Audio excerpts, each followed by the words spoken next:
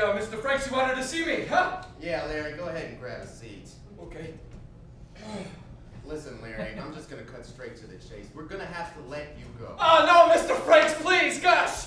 Oh, Look, I'm sorry. It just was not a good idea for me to hire an ex-con to work in my investment company. oh, Mr. Franks, please, no, I, I, I just, I, I, I can't. Uh, listen, all of my, the, all of my investment deals have been on the up and up. I ain't stole nothing since I've been out of the clink, okay? No, that's not it. Nobody's accusing you of anything illegal. It's just that, uh, as an ex-con, you seem to still be using cigarettes as currency. I don't use smokes as moolah. Look, I'm pretty sure you still use cigarettes like it's money. It's as if you're still in prison. Here, show me your wallet. Your wallet. No, please. Mr. Franks, no, don't make Please me. show me your wallet. Just show me your wallet!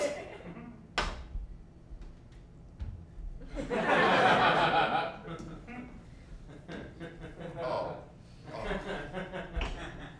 I ain't nothing but a dumb jailbird. No. I belong in a zoo. No, no, do not say that.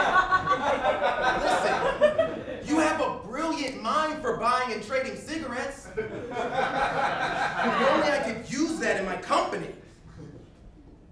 Oh, all right, Mr. Franks. I see what this is gonna take. All right.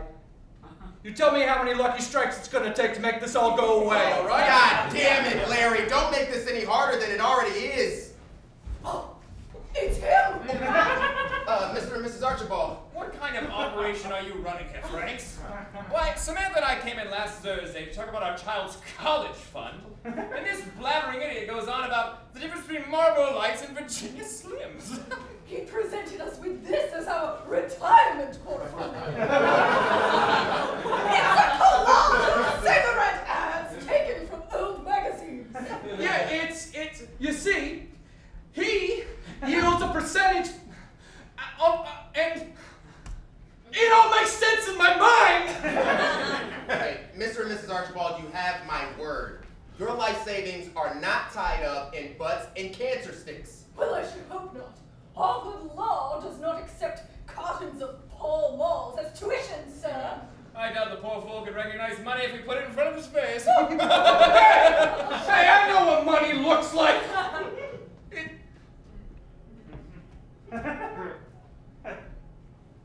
like this twenty dollar bill. That's a mug. That's a mug my kid made me for Father's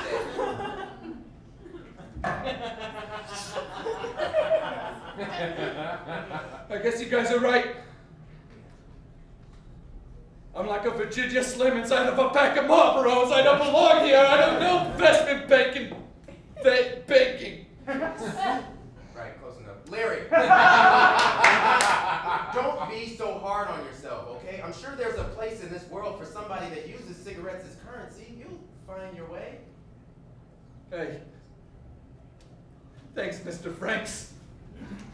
But Larry never did find his way. It seems this world ain't got no use for an ex-con that still uses cigarettes as currency. With no job and only three Newports to his name, Larry realized the life of a free man wasn't for him. He eventually found his way back behind bars by brutally murdering his old boss, Mr. Franks, with something he called a $5 bill. Larry thought hatchets were $5 bills.